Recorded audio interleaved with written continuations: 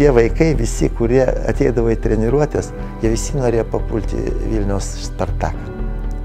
Vilniaus Spartakas buvo, po to buvo Žalgeris.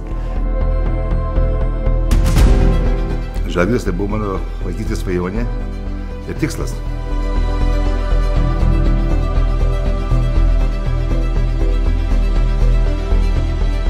Meilė žalgeriui yra nepagydoma.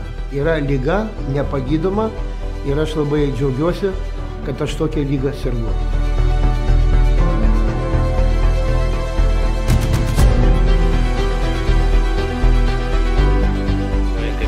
Puikus smūgis su Kristovas, su Kristovas išlygina rezultatą. Žalgeris yra man pirmiausia gyvenimas, meilė, aistra ir kaifas. Vilniaus Žalgeris yra gyvenimas, visas gyvenimas. Gražus smūgis įvartis, gerbėjai sporto mėgėjai.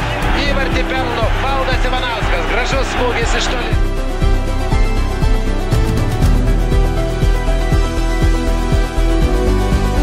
Sakyčiau, kad Žalgeris man yra namai, turinti tikrai didelę šeimą.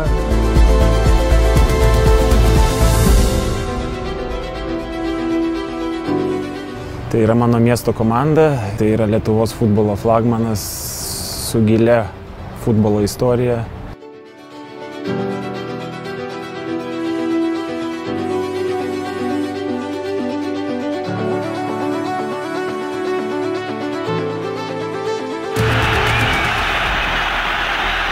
Žalgiris tai čia mūsų istorija, mūsų, mūsų legenda, e, šūkis į įsivadavimą, į nepriklausomybę. Galbūt mes buvom tokie kaip ir išskirtiniai lietuvybės simboliai.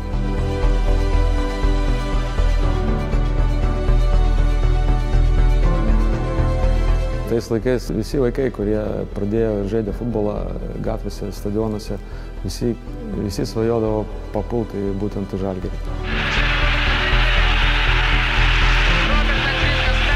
Panevežio sporto internatė tai tik vienintelė mintis ir buvo, kad kuo greičiau ir kaip įmanoma papulti į žalgerį.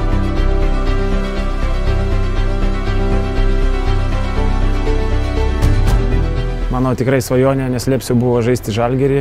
Lygiavomės į jų žvaigždės, į Narbekovą, su Kristovą, Pankratėvą, į Baranauską ir tos visus kitus.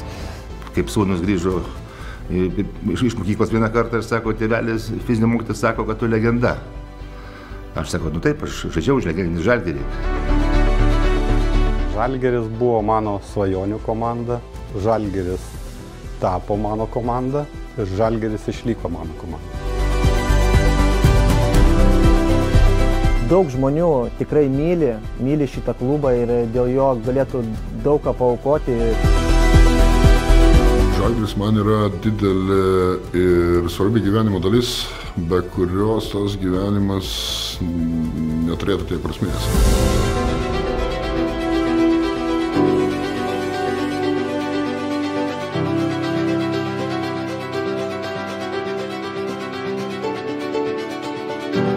Šitas klubas yra svarbiausias mano gyvenime.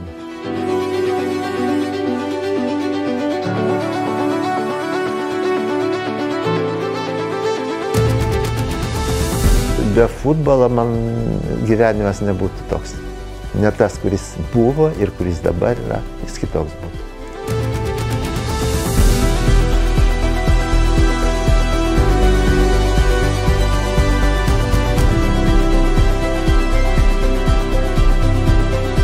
Aš kitą kartą tik pergyvenu, kada jau paliksiu šitą pasaulį, kad nematysiu. Nu, galbūt iš ten irgi matosi kas nors. Norėčiau žalgirį matyti ir iš ten.